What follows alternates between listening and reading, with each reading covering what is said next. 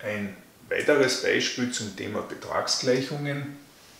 Ähm, folgende Betragsgleichung ist hier gegeben. Wieder rechts und links zwei Funktionen mit Betrag, also nur positive y-Werte. Auch hier wieder Fallunterscheidungen. Da wir rechts und links Beträge haben, müssen wir natürlich vier Fälle unterscheiden. Der erste Fall nehmen wir beide positiv an, würde nichts anderes bedeuten wie x plus 2x minus 1 größer 0 und eben x soll auch größer 0 sein. Somit haben wir schon die erste Nebenbedingung, dass eben x auf jeden Fall größer gleich 0 sein soll.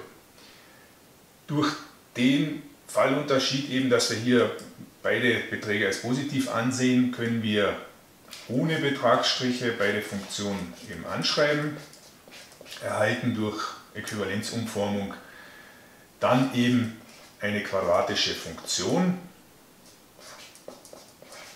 können die, wie üblich, eben mit der quadratischen Lösungsformel, mit welcher auch immer, lösen und erhalten dann eben für x1 minus 1,62 und für x2 äh, plus 0,62. Und da er als Nebenbedingung gegolten hat, dass x in jedem Fall größer als größer gleich 0 sein muss, kann eigentlich nur diese Lösung hier stimmen, als erster Punkt. Ähm, beim zweiten Fall sagen wir jetzt halt, dass beide Beträge negativ sind. Auch hier wieder einfach anschreiben.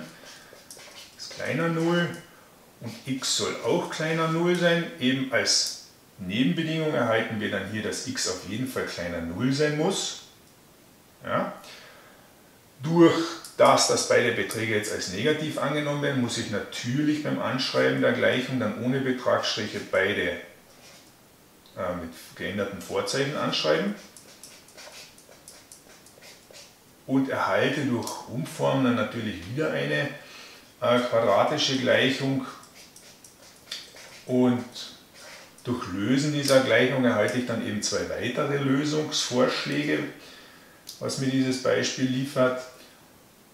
Und hier kommt dann eben raus minus 1,62 ebenfalls und für x2 ebenfalls, so wie beim ersten Fall 0,62.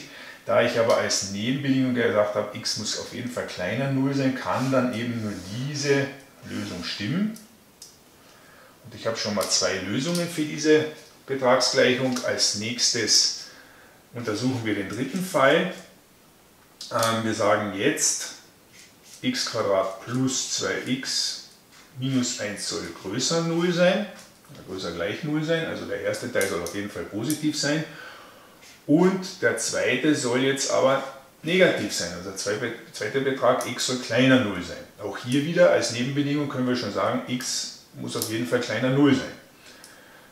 Ähm, da der erste Betrag positiv ist, kann ich eben ohne Betragsstriche anschreiben x plus 2x minus 1 ist das gleiche, x soll aber kleiner 0 sein, also muss ich das Vorzeichen ändern. Dadurch erhalte ich im nächsten Schritt natürlich auch wieder eine quadratische Gleichung und löse die wieder auf und erhalte dann eben x1 jetzt für den dritten Fall ist minus 3,30 und x2 ist dann in weiterer Folge 0,3 und da ja unsere Nebenbedingung war, dass x auf jeden Fall kleiner 0 sein muss, kann nur noch diese Lösung gelten beim dritten Fall. Der vierte Fall ist dann eben genau das Umgekehrte vom dritten Fall. Wir sagen jetzt eben x plus 2x minus 1 ist jetzt ne, kleiner 0, also negativ, und x soll größer gleich 0 sein erhalten dann in weiterer Folge eben, da das jetzt kleiner 0 sein soll, müssen wir natürlich die Vorzeichen ändern. Und das Ganze soll x sein. Auch hier wieder erhalten wir dann ähm, eine quadratische Gleichung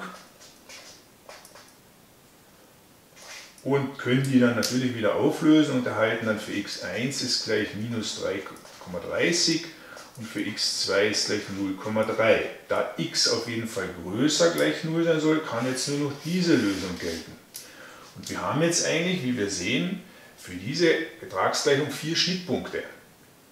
Und wenn wir das zeichnerisch überprüfen wollen, können wir, das ist ja ganz simpel, wir haben ja zwei Beträge, das heißt, wir werden nie negative y-Werte haben. Die erste Funktion ist eben x, also das heißt, die beginnt im Ursprung, hat die Steigung 1, geht da nach oben. Natürlich würde sie ohne Betragsstriche runtergehen, also wenn man Betrag hat, muss sie dann eben in gleichen, mit der gleichen Steigung hier nach oben gehen. Das wäre die erste. Die zweite ist ein bisschen komplizierter zum Zeichnen, geht aber auch. Also es ist ja nur eine Skizze, ist natürlich eine Parabel, die hier irgendwie geht. Dann hier würde sie jetzt natürlich nach unten weitergehen und hier wieder hochgehen. Also hier geht sie auf jeden Fall hoch, hier sind ja die y-Werte positiv. Hier wird sie aber quasi an der x-Achse gespiegelt und geht so. Und somit sieht man schon, wir haben jetzt eben dann unsere vier Schnittpunkte, die natürlich an den Stellen, die wir errechnet haben, liegen.